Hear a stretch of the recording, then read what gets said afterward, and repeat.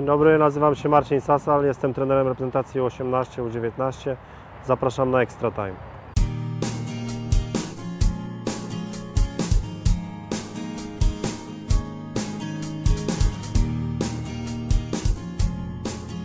Zabawa o charakterze pobudzającym, ożywiającym, wprowadzenie do testów szybkościowych, które dzisiaj mieliśmy.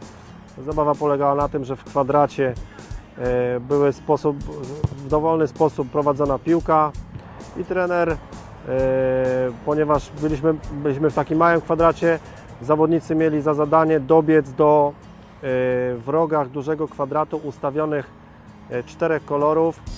E, Dostawali polecenie, na przykład trawa, musieli skojarzyć, że trawa jest zielona i dobiec do tego narożnika kwadratu, który określał dany kolor.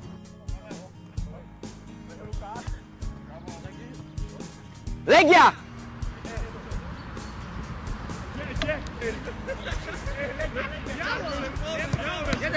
No, i jak, jak, jakie barwy? A, a biały jest? Panowie, no.